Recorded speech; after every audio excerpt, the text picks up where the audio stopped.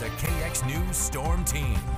548 here on this Monday morning. Welcome back to Good Day Dakota. Yeah, looking forward to some nice warmer weather mm -hmm. since we are at the end of August. Yeah, warmer weather is definitely here. We're going to be above average almost every day this week, or at average. The issue is we're going to have heavy winds some days, yeah. especially Wednesday, Thursday. Then we're going to have some more smoke rolling in. Uh, does it reach the surface? Still up in the air right now uh, if it's going to reach the surface or not. But we will have smoke over today into tomorrow before it maybe gets blown out. Yeah, not so not many opportunities to enjoy the warmer weather. Yeah. yeah. Keep summer here a little longer, but then that dang smoke. Yeah, definitely. Well, we'll start this off on our satellite radar. Clear skies over much, if not all of the region right now. There may be some light clouds, but even that isn't going to affect that sunrise once it does start to rise here in a little bit. Air quality index right now is showing this moderate rating through the central portions of the state, all the way up to the northwest, where we're starting to see this unhealthy for sensitive groups as well. And as that smoke starts to move in, that's sort of a preview of what's to come as that smoke gets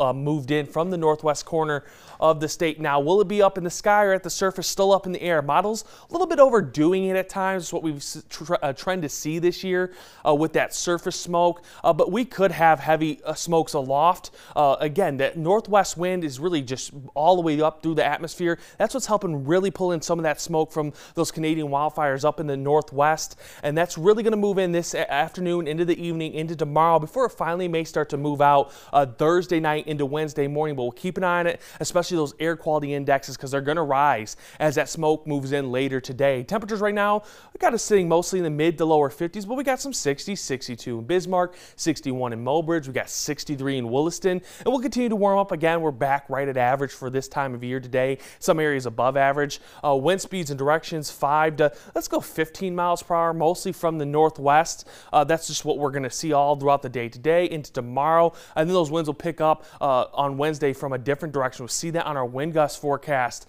We will see some wind gusts today, 25 to 30 miles per hour. Calms down tomorrow, but as we get into the Tuesday night, Wednesday morning, that's where we start to see those winds pick up out to the west and really going to pick up Wednesday afternoon, 40 to 45 miles per hour as a front rolls in associated with a low pressure system that is just off screen off north of Montana. And that's going to really stay around Wednesday afternoon. Calm Thursday morning, but by Thursday afternoon, we'll have another round of those heavy winds. And that low pressure system is now uh, north of us uh, through Thursday. Uh, highs this afternoon got us sitting mostly in the mid to lower 80s in the central portion of the state. You move out to the west, get more of those mid to upper 80s, even some lower 90s, 90s in Wolf Point. Uh, warmer air is going to come in tomorrow, uh, and then we're going to see many get up to the mid to upper 80s. Uh, precision cast shows we see dry skies over the next few days. Tuesday there isn't much. There'll be some light cloud cover, but many will see lots of sunshine. You're still going to be dealing with that haze, but once we get to Wednesday, that front rolls through. It's going to bring in some isolated showers and thunderstorm chances Wednesday afternoon into the night night. And then we'll have another dry morning before some more rain will move in